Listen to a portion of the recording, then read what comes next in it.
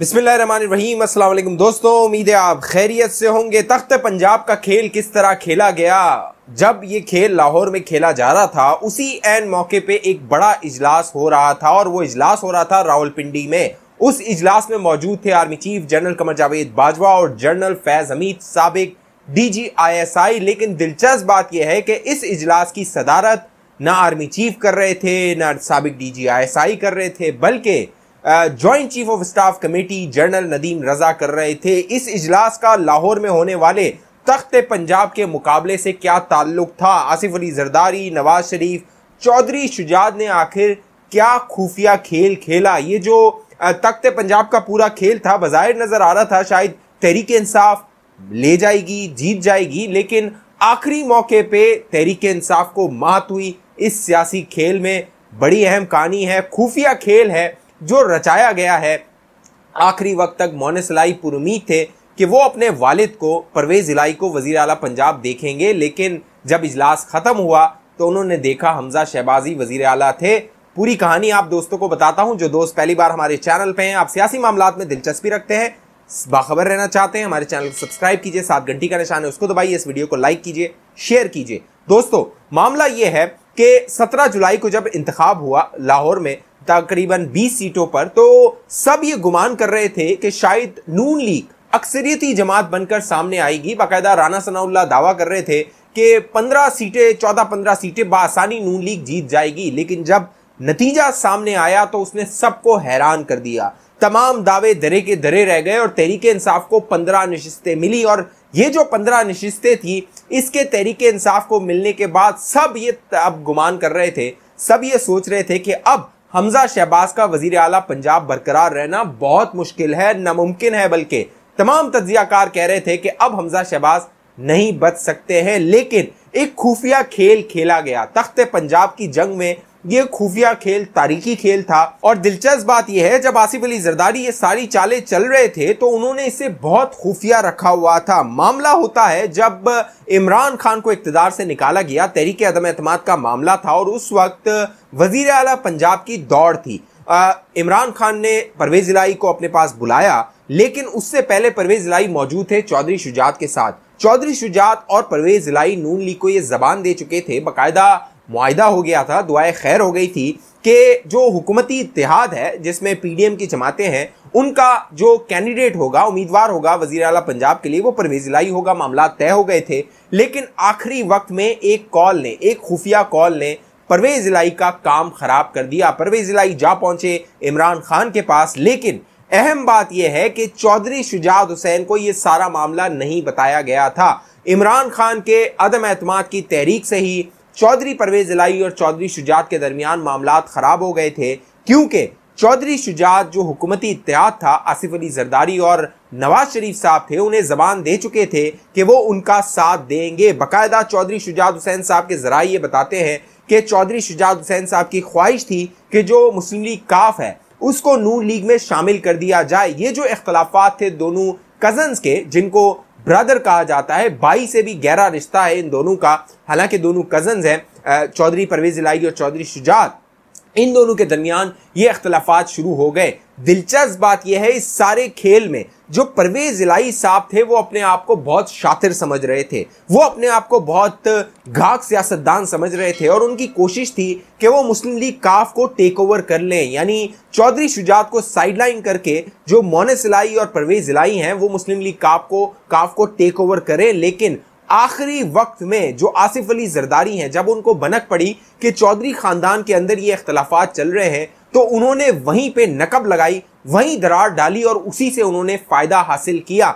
20 तारीख को 20 जुलाई को आसिफ अली जरदारी पहुँचे थे चौधरी शुजात हुसैन साहब के पास और इस मुलाकात के बाद जराए बताते हैं कि मुलाकात तकरीबन पाँच घंटे जारी रही थी और आसिफ अली जरदारी, चौधरी शुजात हुसैन से गिले शिकवे करते रहे थे। इस मुलाकात में आसिफ अली जरदारी ने चौधरी शुजात को कहा था कि आपसे हमने उम्मीद लगाई थी कि आप बड़े जीरक सियासतदान हैं, बड़े वजाकता वाले सियासतदान हैं और आप अपनी जबान का पास रखते हैं, लेकिन आपने जो कुछ किया है, वो नवाज़ शरीफ को बहुत बुरा लगा है, क्योंकि नवाज़ शरीफ को मैंने बहुत मुश्किल से मनाया था। कि वो परवेज लाई को अपना उम्मीदवार बनाए, क्योंकि नवाज़ शरीफ को पूरी मुस्लिम लीग नून जो थी उसकी मुखालफत कर रही थी और दबाव डाल रही थी नवाज़ शरीफ पर कि ये फैसला न किया जाए, लेकिन नवाज़ शरीफ आखिर में रजामंद हो गए थे। लेकिन परवेज इलाई के एक फैसले ने, मोनिस इलाई ने जिस तरह उनको वर्गलाया पूरे इस खेल को तहस नहस कर दिया था। फिर जो आसिफ अली जरदारी हैं, एक बार फिर मुतहरिक हुए। 20 तारीख को ये जो पाँच घंटे की मुलाकात हुई चौधरी शुजात के पास से उसके बाद वो जब बाहर निकले तो उन्होंने एक विक्ट्री का निशान बनाया था। लेकिन इस विक्ट्री के निशान के बाद चंद खबरें प्लांट की गई और वो खबरें प्लांट की गई मोने सिलाई की जानब से मीडिया में और कहा यह गया कि जो चौधरी शुजात हुसैन साहब हैं, उन्होंने आसिफ अली जरदारी को लाल झंडी दिखा दी और कहा है कि जी मेरा जो उम्मीदवार है, मुस्लिम काफ का उम्मीदवार है, वो तो परवेज इलाई होगा, लेकिन बात ऐसी नहीं थी।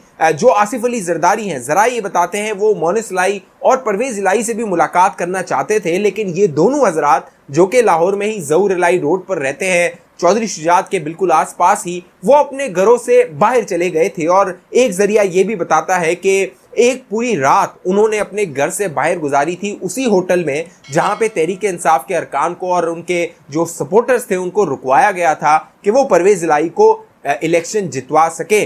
फिर जब आसिफ अली जरदारी को अगले दिन 21 तारीख को ये मालूम हुआ कि चौधरी शुजात हुसैन साहब कोई मामला करना चाहते हैं तो वो दोबारा चौधरी शुजात के पास पहुँचे और वो जो मामला 80 फ़ीसद तय हो चुका था 20 तारीख को, उसे 21 तारीख को फाइनल किया गया और एक खत का ज़िक्र वहाँ पर आया और एक खत का आइडिया वहाँ पर आया और चौधरी शुजात को कहा गया कि आप पार्टी के सरबरा हैं जो सुप्रीम कोर्ट ऑफ़ पाकिस्तान है, वो यकुम जुलाई को एक फैसला दे चुकी है कि पार्टी का सरबरा जिसको कहेगा, उसे उसको वोट देना होगा। लिहाजा आप एक खत जारी कर दीजिए, तमाम अपने अरकान को और डिप्टी स्पीकर को भिजवा दीजिए, क्योंकि वो इलेक्शन करवाएँगे कि आपके पार्टी के वोट हमजा शहबाज को पड़ेंगे। दिलचस्प बात यह है कि कहा यह जा रहा था कि उम्मीदवार जो मुस्लिम लीग काफ का है, वो परवेज इलाई है।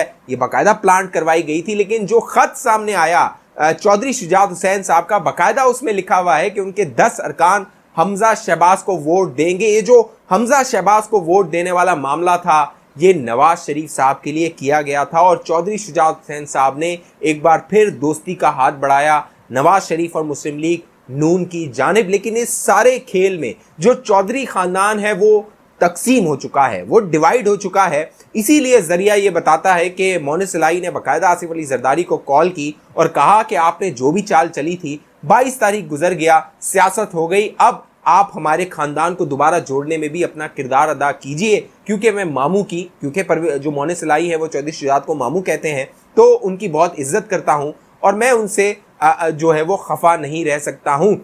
जो मोने सिलाई हैं, उसके ताल्लुकात और जो चौधरी शाफे और चौधरी सालिक हैं, उनके ताल्लुकात अच्छे नहीं हैं। चौधरी शाफे और चौधरी सालिक जो है, वो चौधरी शुजात के साहबजादे हैं, मोन सलाई परवेज इलाई के साहबजादे हैं, लेकिन चौधरी शाफे और चौधरी सालिक के बारे में आपने ज़्यादा नहीं सुना होगा, क्योंकि वो ज़्यादा मुतहरिक नहीं है, ज़्यादा एक्टिव नहीं है, लेकिन इस ख़ानदान के अंदर ये जो अख्तलाफ था, इसको आसिफ अली जरदारी ने कैश करवाया, इस्तेमाल करवाया, और ज़रिए ये बताते हैं, जब तख्त लाहौर का इंतखब हो रहा था, इलेक्शन हो रहा था तो नवाज़ शरीफ साहब लंदन में, हुसैन नवाज़ के दफ्तर में मौजूद थे। वो वहाँ से ये सारा खेल देख रहे थे, सारे मामला तय कर रहे थे और तीनों, आसिफ अली जरदारी, चौधरी शुजात और नवाज़ शरीफ फ़ोन पर रबते में थे कि किस तरह मामला को आगे बढ़ाया जाएगा। जब यह असम्बली का इजलास शुरू हुआ तो मोन सलाई को यह बनक पड़ गई थी कि कोई खत का मामला है। लिहाजा मोन सलाई इस इजलास से दोबारा गए थे। चौधरी शुजात हुसैन साहब के पास और चौधरी शुजात से कहा था, क्या आपने कोई लेटर जारी किया है? तो चौधरी शुजात ने इस बात की तस्दीक की हाँ मैंने लेटर जारी किया है। मामला यह है कि एक खत जो अमरीकी साजिश से शुरू हुआ था, इमरान न्याजी ने बेचने का ड्रामा किया था कि उसके खिलाफ साजिश हो गई है, झूठा खत बना के।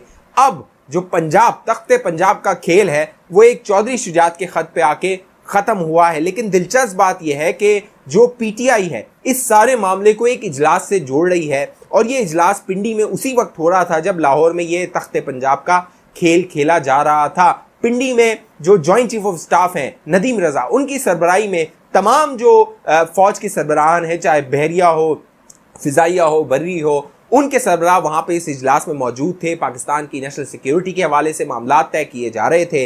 इसमें जनरल कमर जावेद बाजवा भी मौजूद थे, सबक D G I S general जो फैज़ हमीद साहब हैं, वो भी मौजूद थे। और जो सिक्योरिटी मामला हैं, उनको तय किया जा रहा था, लेकिन जो ये तख्ते पंजाब का मामला था, सियासी मामला थे डेफिनेटली ये भी जेर गौर आए होंगे। इसीलिए श्री मजारी साहिबा ने ट्वीट किया था कि बहुत मुमकिन है इस बड़े इजलास में ये सारे मामला भी जेर गौर आए हों।